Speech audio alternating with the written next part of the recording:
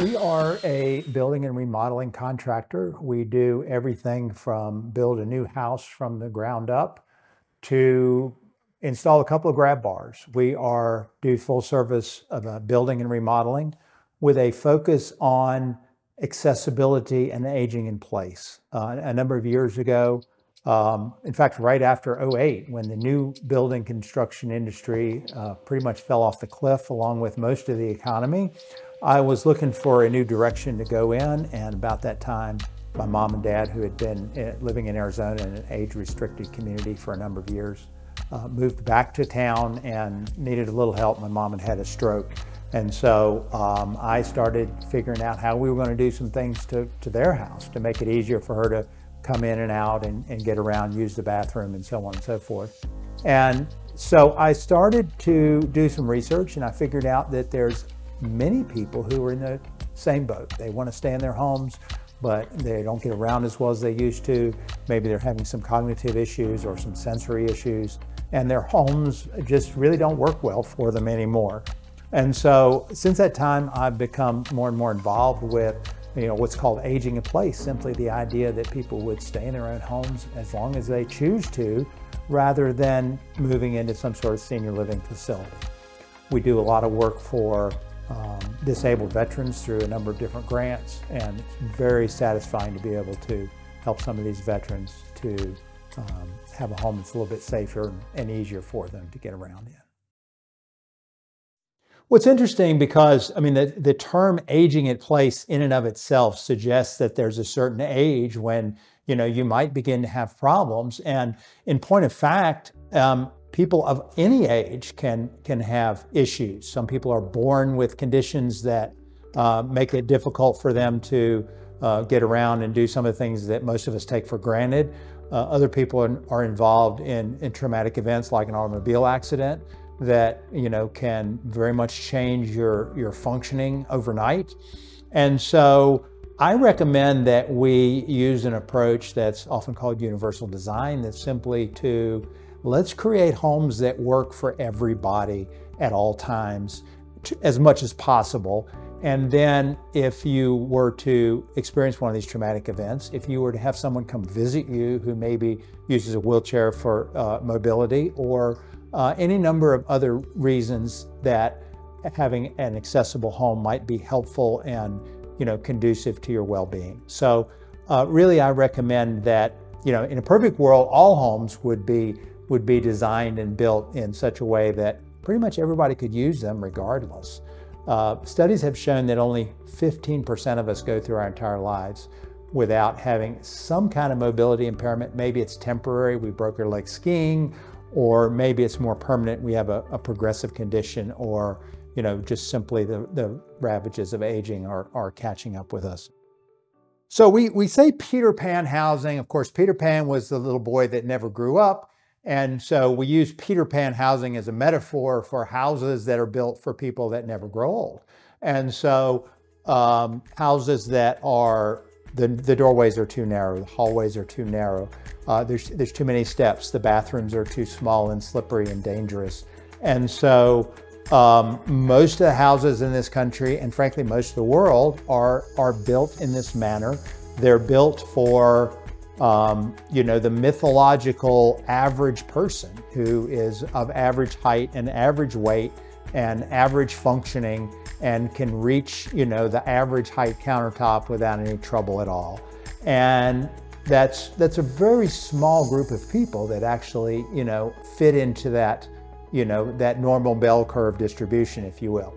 And so what we, what we often do is we're, we're called in by people who love their homes and love their neighborhoods and, but they're struggling. They're struggling with you know, getting in and out of the front door. They're struggling with, you know, getting in and out of the bathroom and, and taking a shower and, you know, washing their hands and, and doing things of that nature. And so um, probably those are the two most common modifications that we're asked to, to change, to create at least one zero step entry somewhere into the home that you can get from the car, the vehicle into the home without any steps and to make a bathroom that's safe and functional and accessible for people of various abilities. And the, the bathroom renovations would be things like a wider doorway, would be, you know, slip resistant flooring, would be uh, a curbless shower that can be easily gotten into without uh, fear of falling, um, roll under sinks, uh,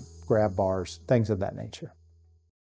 They're thinking in terms of, you know, maybe, uh, you know, the grab bars they've seen at the hospital or the, you know, they've seen a, a, um, you know, accessible hotel room that may or may not have been done very well. Um, and certainly the, the whole idea of, of changing your home to accommodate changing needs can be a difficult conversation to have. Nobody wants to, you know, it's not the kind of um, dinner table conversation that people are, are eager to have. You know, oh, you know, maybe one day I won't be able to to walk as well as I do. Won't that be exciting? No, people don't don't think that way. They they you know bury their head in the sand. They put off you know thinking about this. People are often in denial about what their needs are. They think that if they make these changes that they are somehow surrendering to the ravages of aging. I prefer to think of it as they're being smart planners and they are helping to ensure their independence as they uh, live in their homes. So that being said, um, like any other kind of, of renovations, I'm sure most people have seen remodels that people have done to their homes that you know were not attractive without regard to whether they were accessible or not.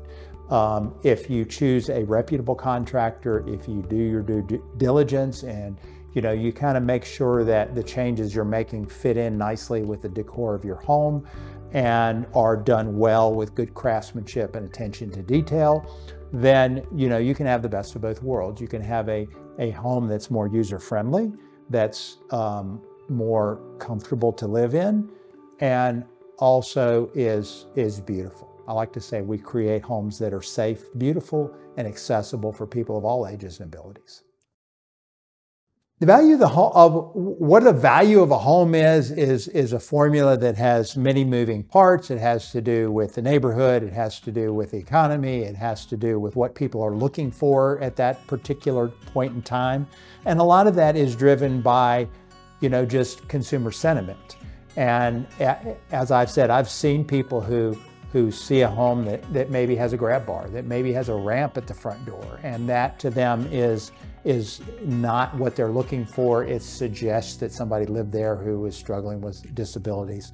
So, but the more and more people who um, know others, maybe it's an aging parent, maybe it's a neighbor, maybe it's a, another relative who has, you know, struggled with these things and, and they've seen how beneficial these features can be, especially if they're done well in a tasteful manner, that the, the market over time changes and these things are, are more sought after. In fact, I've talked to many people who have, you know, are looking for an accessible home. They're looking for a home that has these features and can't find one.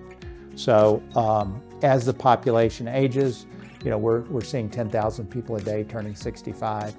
More and more people are starting to consider these kinds of changes, especially people who have been a caregiver for a, for a parent or another loved one. So uh, I think those perceptions are changing over time. It's important to individuals because people want to stay in their homes. I mean, they live there for a reason in the first place because they like the neighborhood, they like the house, they like, you know, the idea of living independently. Most people are not uh, you know, excited about going to a congregate living facility, no matter how, how beautiful and, and wonderful the place may be, it's not home. And so people, um, it's important to individuals and families because of the people are happier at home, they're healthier at home, they recover uh, more quickly, um, and their quality of life is, is just better. I think it's important for society because I think we do a disservice when we take those people who have lived a full life and are full of wisdom, full of knowledge, have so much to teach us, have so much that we can learn from, and we sequester them in a, you know, in their own little community and, and remove them from, from the little children and from the young couples and from the, you know, the, the rest of society. And so I think, you know, sometimes you hear in, play, in rather than aging in place, you hear aging in community, just the idea of that you know, people would remain in community. We would get the benefit of all their years of wisdom and understanding. and that benefits all of us. Well, we have a number of resources. We have a, a planning guide that helps people kind of walk through this process. Um, we have a lot of information on our website. Uh, that's solidrockenterprises.com. Uh, you're welcome to call our office at 540 384 2064 for more information.